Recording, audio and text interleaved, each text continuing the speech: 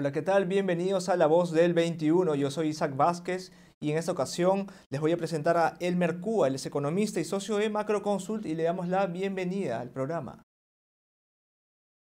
Hola, ¿qué tal? Buenos días, ¿cómo están ustedes? ¿Qué tal? Bienvenido, señor Cúa. Eh, nos agrada tenerlo con nosotros en esta ocasión para poder conversar un poco sobre la coyuntura económica, la coyuntura del país y todo este escenario que estamos atravesando este año, pero eh, comenzando por, un punto en, concreto, ¿no? Eh, hace, hace poco, hace unos días, se aprobó una norma en el Congreso relacionada con el retiro de los aportes a la ONP. Eh, nos gustaría tener una apreciación suya respecto a cuál es el impacto que se podría estar observando en la economía, especialmente en este contexto, digamos, tan difícil que atravesamos dado que, según estimaciones, se, prevé que podría generar la salida de entre 15 mil millones, 18 mil millones, hasta un poco más incluso, y, en realidad eh, muchos analistas dicen que sería bastante nocivo. ¿Cuál sería el impacto que podría observarse, eh, según nos pueda comentar usted? Sí, antes del impacto, mostrarte mi profunda decepción por lo que está ocurriendo en el Congreso hoy día en el lado macroeconómico. La política fiscal no es una piñata que hay que romper es lo más valioso que tenemos en los últimos 30 años. Hay que cuidarla como oro. Es central en, lo, que, en lo que ha sido estos 30 años el tema del, equilibrio macroeconómico. Habiendo dicho eso, me, sorprende que habiendo un problema arreglar, solucionable en, en la ONP, se hayan dado dos normas que atentan contra la misma. La primera es la siguiente. Es verdad que los aportantes a la ONP que, que no cumplan los 20 años no reciben nada. Eso es una injusticia que se puede remediar dándoles una, una pensión proporcional. Es decir, aquel que aportó 20 años o más tiene una pensión y el que aportó menos proporcionalmente esa pensión. Digamos que aporté solamente 10 años, me da la mitad de mi pensión, pero tengo que recibir algo a cambio, si no, es un engaño para los aportantes. Esa, si, si eso hubiese sido la ley del Congreso, toda la profesión mía hubiera salido a responder que está a favor, o casi toda, porque es lo justo. Pero ¿qué han hecho? No han hecho eso. Han permitido, quieren que ese aportante de esa caja única se lleve un, aporte que no es suyo. El titular del aporte no es el aportante, a diferencia del sistema privado.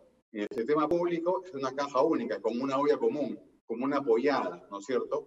Tú aportas ahí para que en el futuro otros aporten por ti. Es un sistema de solidaridad, ¿no? Tú aportas en, tu edad eh, laboral y cuando te jubiles, otros, los jóvenes de esa época, te van a, te van a sostener las pensiones.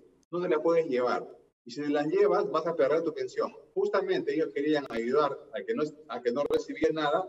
Ahora, si va a llevar un aporte que no es suyo, va a defondar a los demás eh, pensionistas y además el propio tipo que retira se va a quedar sin pensión, porque no va, va, a retirar algo, no va a acumular en los años que, que, le pide para tener pensión. Una, una norma pésima. Y por si fuera poco, el otro extremo de la norma es darle un dinero, ¿no es cierto?, a todos los jubilados. Eso que está ahí se llama eh, violar la ley, la constitución. Los congresistas no pueden violar la constitución, han jurado defenderla. No maneja el gasto público, el gasto público lo maneja el ejecutivo. Tú no puedes decidir dar, dar un dinero a un grupo, ¿no es cierto?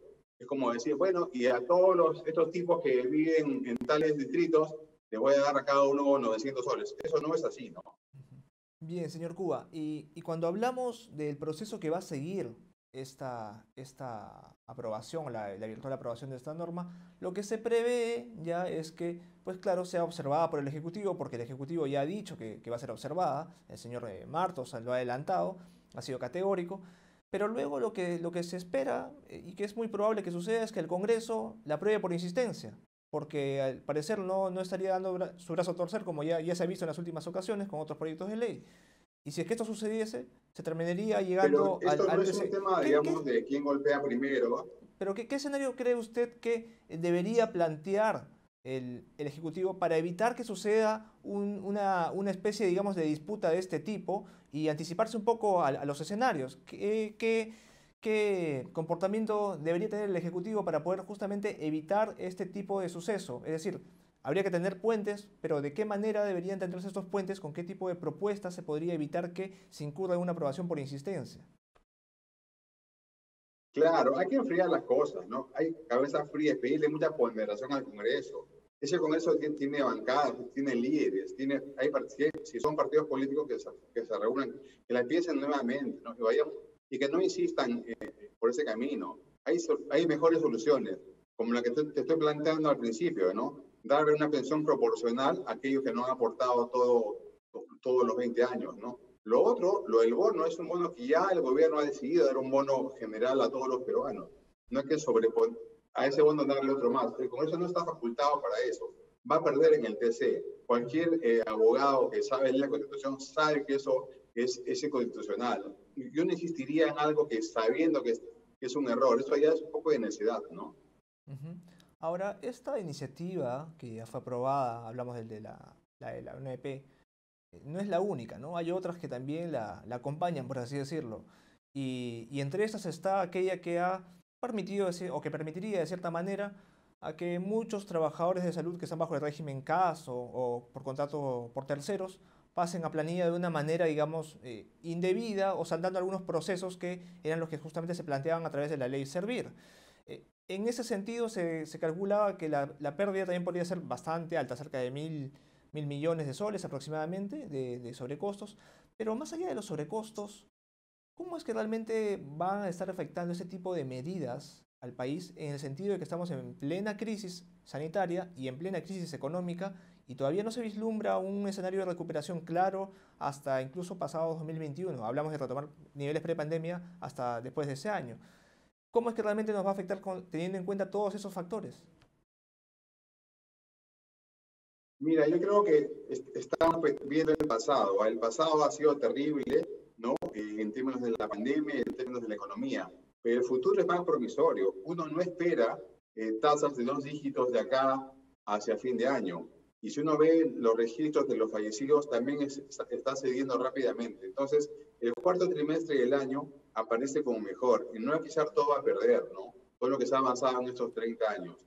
En el caso del tema de, salud y el MINSA, efectivamente, en el caso de salud, la consecuencia va a ser que va a caer la calidad del servicio. cuando, cuando la gente haga colas, no haya medicamentos o cosas quirúrgicas, el culpable va a haber el Congreso del año 2020, que, que, le, le, tiró un torpedo en la línea de explotación en salud, que solamente divide sus aportes y va a tener que acomodar mayores gastos salariales, yendo en contra de la calidad del servicio. No están pensando en el ciudadano que recibe el servicio, están pensando en los votos de ese trabajador de salud.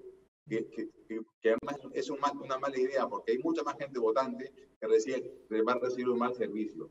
Y en cuanto al MINSA también, nos está alterando la meritocracia que permite justamente mejorar el servicio. Y hemos visto lamentablemente lo pésimo que son los servicios públicos. Y con esto no van a mejorar de ninguna manera, van a romper el principio de eficiencia laboral. Bien, antes de pasar a hablar sobre eh, la economía en sí, eh, ya que usted menciona eh, de nuevo el, tema de, del Congreso y lo que nos puede dejar realmente, con, específicamente en el campo de salud, en este caso con este proyecto de ley, ¿usted considera que este, este Congreso, el actual Congreso, sería o podría ser uno de los, digamos, peor preparados en el aspecto técnico y económico, dado la, digamos, la, la muestra o, la, o, la, o, la, lista y la serie de, iniciativas legislativas que nos está dejando, que no tienen ningún tipo de sustento económico, al menos técnico, en el nivel que se esperaría? Mira, no es un tema de preparación técnica. Uno no le pide a un representante del pueblo que esté técnicamente preparado uno le pide que sea honesto y si no sabe un tema, que se deje, que se deje, que se deje asesorar. La economía es como la medicina, no es, es algo esotérico, ¿no es cierto? Si yo tengo buena voluntad y quiero servir a mi pueblo y no sé un tema, bueno, me rodeo de gente que, lo sabe, que sabe, me hago asesorar mejor y tomo una decisión eh, en, esa, en esa dirección. No me cierro, ¿no? Y insulto, no hago de espaldas a la evidencia, de espaldas a la ciencia económica en este caso, voy operando. Ellos critican mucho al Ejecutivo que no se ha pegado a la ciencia médica para la epidemia, pero ellos están haciendo lo mismo con la ciencia económica, ¿no? Entonces, eso sí me preocupa. No sus capacidades técnicas, eso es algo secundario. Lo que importa es su voluntad y su, y su, y su, y su conciencia de, que sean buenos representantes del pueblo. No, no, están para eso, no están para dañar al pueblo, ¿no? ¿Y usted cree que este Congreso es peor que el anterior, igual que el anterior? ¿Cómo lo, lo calificaría? No, no, no, no, no entraría en ningún calificativo de mejor o peor. Eh, caso por caso, norma por norma. Lo que, lo que están haciendo hasta ahora es algo por lo cual no han sido elegidos, ¿no? Han sido elegidos para mejorar la reforma política, a completar el anterior eh, periodo. No tenían un mandato, digamos, este, de cambiar el modelo económico, ¿no? Bien, bien, le agradecemos por esas precisiones. Pero pasando ahora al, campo ya netamente económico, el MEF ha presentado el marco macroeconómico multianual y, y en ese sentido la ministra de Economía, María Antonieta Alba, nos ha, ha, reconfirmado prácticamente que, claro, la caída de este año, según las estimaciones del MEF, son de menos 12% del PBI mientras que para el próximo año se espera un crecimiento de 10%, eh, claro está, eh, sin, sin, analizar bien el, apartado estadístico que, eso implicaría, pero eh, yendo netamente a estas, a estas dos estimaciones, realmente podemos esperar, digamos, este tipo de resultados porque algunas agencias, algunos analistas anticipaban que incluso la caída podría ser mayor este año, que la recuperación podría tomar un poco más tenemos, digamos, los fundamentos o el gobierno está tomando las medidas necesarias como para que se pueda alcanzar este tipo de metas, entre comillas? Sí, mira, eh, lo que pasa es que el año está muy marcado por lo que ha pasado en el segundo trimestre, por, por la recesión hecha por nosotros mismos al cerrar la economía. Perú venía creciendo a un ritmo de 3%, ¿no? Y va a caer este año cerca del 12%. Hay 15 puntos de caída. Esos 15 puntos de caída de más 3 a menos 12, por decir el número del MEP, están explicados en 3% por la caída del turismo. ¿no? Entre marzo y diciembre no hay turismo en Perú y eso eran como 5 mil millones de dólares. Ese es el impacto del turismo, 3% del producto. Pero el otro 12 lo hemos hecho nosotros para justamente ganar tiempo para enfrentar eh, la pandemia, para que el, el, sistema público de salud desarrolle una, una capacidad de respuesta y eso era, era costoso. Cada semana que pasaba entre marzo y julio costaba mucho dinero. Por eso el PIB cayó 30%. Pero uno no espera esas tasas hacia adelante. ¿no? Uno esperaría tasas cercanas al 7%, 8% en el tercer trimestre y cercanas al 5%, 6% en el cuarto trimestre. O sea, ya pasó lo peor. Lo que está viniendo ahora son mejores cifras. También las cifras del empleo. Si uno ve las, las cifras del empleo de Perú, las oficiales, es ver por el retrovisor es ver el desempleo en medio de la, de, la cuarentena, el desempleo en medio del aislamiento. No es así hoy día. Hoy día el empleo ya está creciendo mes a mes y seguramente va a mejorar de acá a fin de año. Entonces, hacia adelante se vienen mejores tiempos, tanto en la parte económica como, en la parte epidemiológica. En cuanto al 2021, el MEP sí está en lo correcto. La economía podría rebotar sin ningún problema las, las tasas que dice el Ministerio de Economía. ¿Por qué? Porque es, eso ni siquiera es teoría económica, es simplemente un, hecho aritmético. Vas a comparar un mes, un año, perdón, el 2021, con 12 meses completos de trabajo, contra un año como el 2019, con 3 meses de cuarentena. Entonces, naturalmente las cifras van a rebotar. A eso no, no le llamaría un crecimiento económico. Eso no es un crecimiento económico. Crecimiento es un, proceso largo de acumulación de capital. Físico, capital humano, infraestructura, tecnología, innovación, y vas creciendo. Lo que vas a ver en el 21 es un simple rebote, ¿no? Es como comparar un, mes de trabajo con, un mes has estado de vacaciones una semana. Vas a trabajar, ¿no? Vas, a aumentar, ¿no? Ahora, si hablásemos ya de la reactivación, el reinicio de, actividades económicas, ya hemos avanzado de una manera considerable si es que comparamos lo que se veía en julio, por así decirlo.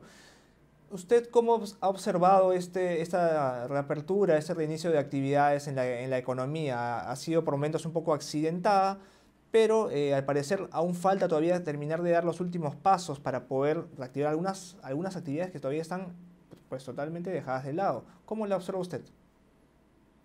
Sí, ha sido bastante calamitosa la manera como se han manejado las cosas.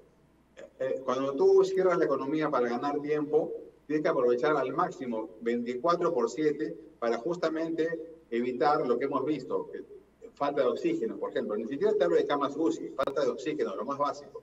No hemos logrado eso y por eso Perú tiene los, peores indicadores de salud del planeta hasta el día de hoy en el tema de muertos por millón. Ojalá que ya paremos eso y, y, que, que, no siga aumentando. Entonces, ese, ese problema de haber hecho mal trabajo en el lado, en el lado sanitario ha llevado a que la economía tenga que sufrir aún más, no, con una recesión, un estancamiento, una cuarentena mucho más larga de lo, de lo, esperado. Incluso al día de hoy, todavía un tercio de los peruanos sigue todavía en cuarentena, ¿no? A, jugar por el número de provincias y regiones que todavía están en cuarentena. Entonces, ya comienzan a interactuar las dos curvas, ¿no? Ahora, eso ya es el pasado, ya el pasado, el futuro va a juzgar el pasado, qué pasó realmente y por qué hicimos mal o bien las cosas. De que en adelante uno sí, se, sí ve mejores tiempos, ¿no? ¿Y qué sectores económicos cree usted que deberían ser apuntalados, por así decirlo, eh, por el gobierno o quizás deberían tener alguna especie de programas focalizados más allá de los que ya se conocen para poder optimizar su rendimiento y miras a una recuperación que todavía tiene, digamos, cierto trecho eh, por, por, caminar. Ah, no, claro, claro, efectivamente. El 2021, cuando se compara con el 20, como te digo, va a haber un rebote obvio, un rebote aritmético. La verdad que compararlo con el 2019, un año normal, ¿no? El 2019 no había COVID, no había cuarentena, es un año normal de Perú y contra este año, todavía el, año, el año 21 va a ser peor. Si comparas con el año 2019, el año 21, todavía es un año donde cae 4% respecto al 19. Entonces simplemente es un año de rebote. Ahora bien, ¿qué sectores son los que podrían salir más rápido? En verdad ya lo están haciendo. La minería, la agricultura y la pesca ya salieron. Ya. Ahora en julio y agosto ya volvieron a los niveles productivos pre-COVID. Lo que va a ser más lento en salir en la otra cola de la distribución va a ser el turismo, ¿no? Ese va a ser golpeado por, por varios años, ¿no? Eh, por el tema justamente del contagio y el temor. Y, ese se va a levantar más tarde. En segundo lugar, los, los, todos los servicios vinculados a mano de obra que son intensos en contactos, como el tema de los restaurantes, los cines, los gimnasios, eh, toda la actividad esa donde hay mucha gente aglomerada, los bares, ¿no es cierto? Eso sí va, va a sufrir un periodo bastante largo. Entonces, en el interín hay episodios dolorosos de desempleo y de informalidad del empleo que van a tener que enfrentar con empleos, empleos temporales, ¿no? Y ahí la política fiscal es la que va, va a tener que entrar a tallar. Pero nada reemplaza a nuevamente liberar la economía y para que, eso, para que puedas liberarla hay que, número uno, asegurarte que se cumplan los protocolos. Número dos, eh, digamos, todo el tema de transporte público, hay que mantener esos, esos sistemas de, ¿no? Y esperar la vacuna. La vacuna va a ser el, día y la noche, ¿no? Eh, de lo que es hoy día. Quizá haya un par de dosis, quizá llegue a del próximo año, pero al final va a ser, eso va a cambiar un poco la situación. Señor Cuba, cuando hablamos de retomar los niveles eh, previos a la pandemia, la ministra de Economía eh, estima que esto podría suceder recién en el año 2022, que es algo que algunos economistas también han mencionado en algún momento. ¿Usted coincide con ello o cuál sería su observación al respecto? Sí, sí como, como dice el PIB, el PIB caería este año 12%, tendría que subir 14% el próximo año para recién estar en los niveles que, alcanzamos el, 2000, el 2019, que no creo que sea el caso. Podría ser también, siempre y cuando la vacuna llegue, digamos, en el segundo trimestre y además eh, el gobierno que asuma el próximo año y ya lo vamos a saber desde abril o mayo, sea un gobierno reformista que nos va a llevar a otro estadio de desarrollo. En ese caso, la economía sí podría rebotar y alcanzar antes de lo, que, de lo pensado ese, esos niveles productivos en 19. Caso contrario, si el populismo, si este Congreso que ahora es una muestra de lo que se podría venir, con una carrera de grupos políticos pequeños, con un presidente débil, con un, con un respaldo bajo en el próximo Congreso, esto pinta muy mal, ¿no? Pero eso vamos a decirlo nosotros los peruanos más en abril, ¿no?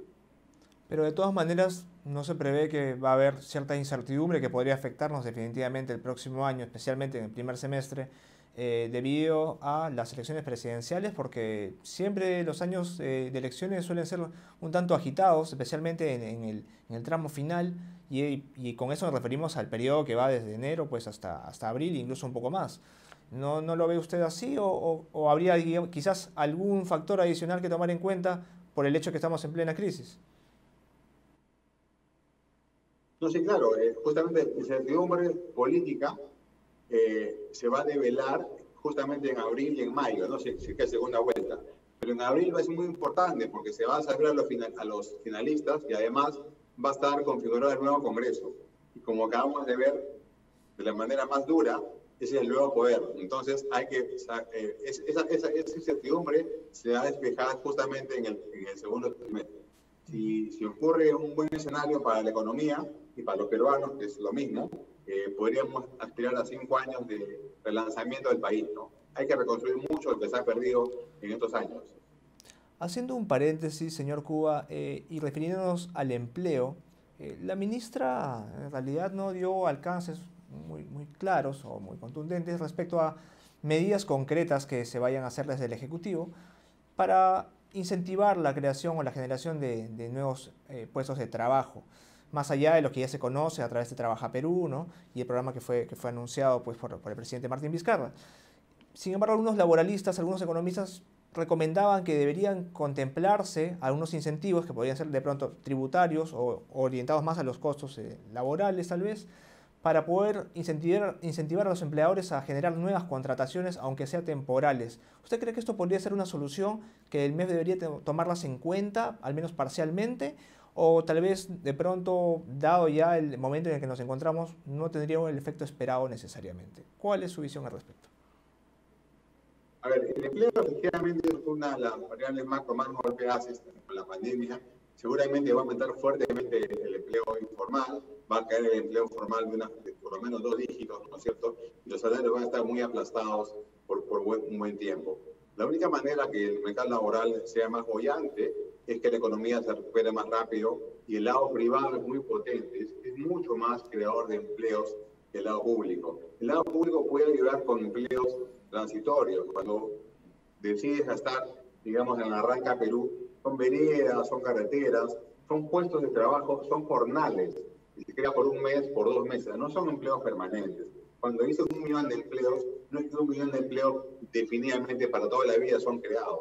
Se crean un millón de puestos de trabajo que pueden durar desde un día hasta cinco meses. Nunca te dicen los políticos cuánto tiempo duran esos empleos. Siempre te dicen un millón, cien mil, medio millón de empleos. Pero como te digo, son puestos de trabajo, son jornales, ¿no? Que pueden durar dos semanas o, tres o cuatro o ocho semanas. Eso no es un empleo permanente. Solamente el sector privado puede crear empleo permanente. El sector público no. Sector público hoy día emplea apenas un millón y medio de peruanos. Eso es, es a todo meter. Y los peruanos somos en la PEA más o menos 18 millones. O sea, de los 18 millones de peruanos que trabajamos todos los días, 16.5 somos privados y 1.5 es público. Por, lo tanto, no hay manera de competir. El privado tiene que crear los puestos de trabajo. Pero no son puestos de trabajo sobre la base de beneficios tributarios. Eso es imposible, porque el, el sector público está muy golpeado. Las finanzas públicas van a tener que reconstruirse el próximo gobierno. Ya lo ha hecho hoy día la ministra el déficit, o estos días, con el, con el marco multianual, el, el déficit fiscal para, para el mes va, va, va, a aumentar este año de 10%.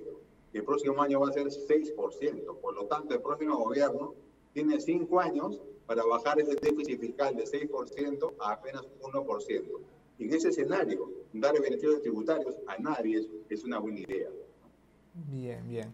Eh, justamente por ahí iba a ir una siguiente pregunta orientada al, al alto nivel de gasto que estaba ya presentando el, el, Estado y al mismo déficit fiscal, cuya meta del 1% ha sido pospuesta hasta 2026, ¿no? el, 1, el 1 del cual ustedes nos, está, nos estaban hablando hace un momento. ¿Cómo es que el gobierno, bueno, el este en lo que quede superior y especialmente el próximo, va a tener que lidiar eh, con ello para mantener, digamos, alcanzables los objetivos que se tracen, sin descuidar también las cuentas fiscales que de por sí, como usted lo ha adelantado y lo ha comentado, pues están evidentemente golpeadas. Sí, la verdad que nos hemos un poco relajando en los últimos años en el Perú en la evasión de IGB y evasión de renta. La tasa que tenemos de impuesto a la renta y de IGB no se condicen con la baja recaudación de ambos impuestos. La meta clave del próximo gobierno va a ser aumentar la recaudación, bajando la evasión fuerte de, de, esos dos impuestos. Si logras hacer eso, va a haber un espacio para reconstruir las finanzas públicas y también va a haber espacio para mejorar el gasto en salud, que lo hemos visto justamente en, en, en su peor precariedad con, con, la, con el COVID, ¿no es cierto? Va a poder alcanzar tanto para gastar más en salud y en educación, como por reconstruir las finanzas públicas, siempre y cuando luche contra la evasión. ¿No sería, digamos, este, una buena idea subir la tasa de impuestos o subir la tasa de IGB? Porque ya son niveles que están parecidos a, a los rivales de Perú en la región, ¿no? Eh, yo iría más por el lado de, de elevación, que es, que es la, la, gran meta del próximo gobierno. Bien. Y cuando hablamos... Y cuando hablamos de eh, inversión, y nos referimos específicamente a la inversión privada, que representa más o menos el 80% de la inversión general, ¿Qué ve usted que se está haciendo bien desde el gobierno para poder incentivarla y qué se está dejando de hacer o no se está haciendo, eh, según lo que usted está observando en los últimos meses, ha estado observando en los últimos meses? ¿Sobre qué? Eh, respecto a la inversión privada, ¿qué acciones, qué medidas que ha tomado el Ejecutivo considera que han sido acertadas para poder justamente incentivar la inversión privada y qué otras de pronto eh, medidas o acciones no han estado presentes o están de, pronto pendientes de eh, ser acatadas o de ser eh, dispuestas? Mira, lo más importante para la inversión privada son tres cosas. Primero, la estabilidad de la regla de juego. Es una economía que ha sabido atraer importantes inversiones, eh, inversionistas extranjeros en todos los sectores y también los peruanos han confiado en la economía de todo tamaño, desde el pequeño empresario hasta el grande. Entonces, las reglas de son claras, te dicen cuáles son los impuestos, cuáles son las leyes, cuáles son las leyes este, laborales, cuáles son las leyes de, tu sector, regulatorias, y tú decides, haces un cálculo, ¿no es cierto?, de cuánto piensas ganar y aportas tu capital. Tú mismo te juegas el riesgo ahí para recuperar esa inversión. En el camino, creas puestos de trabajo y pagas impuestos a la renta y pagas el IGB. Entonces, eso, si no tocas eso, eh, Perú es un país muy atractivo y sigue siendo un país muy atractivo con elevada rentabilidad. Y hay que mantener también la estabilidad macroeconómica. Yo creo que este gobierno no ha hecho mucho por la inversión eh, privada. Por ejemplo, el caso de Tía María, ¿no? con un conciliábulo con el gobernador regional para atacar la inversión indebida. Y el Congreso tampoco está haciendo mucho por, por elevar la inversión privada en general, con las señales, señales perversas como el caso de la ley de control, la ley de especulación y acaparamiento, o esta norma de, los peajes, ¿no? Entonces, eh, ¿de dónde vas, vas a ver dinero? Todo el mundo pide dinero, rompe, rompe el tanchito, reparte plata. La única vaca lechera donde sale el dinero es, es la inversión privada, ¿no? y, esa no podemos, digamos, estamos yendo contra, contra la corriente. Bien, señor Cuba, le agradecemos por haber estado aquí con nosotros en esta ocasión. Un Bueno, esto ha sido todo por esta ocasión y ya será hasta una próxima edición del programa en Perú 21 TV. Nos vemos.